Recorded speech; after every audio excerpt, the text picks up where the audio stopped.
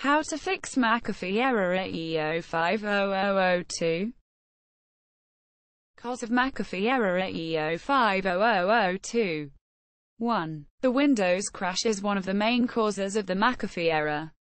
2. The slow functioning of the devices disturbs the users. The PC reboots and turns off automatically.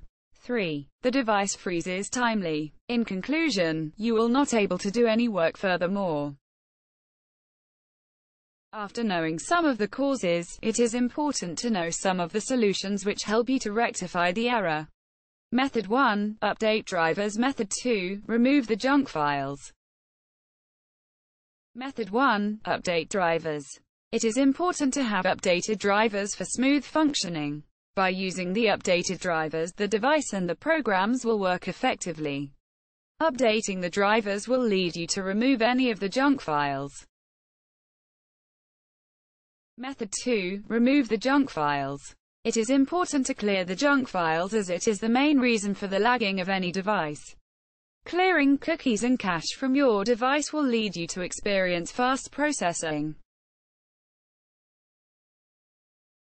If you are unable to resolve the issue, do not worry. We are here to help you. Just follow the link given in the description below. Our experts are available 24 hours to assist you with any issue.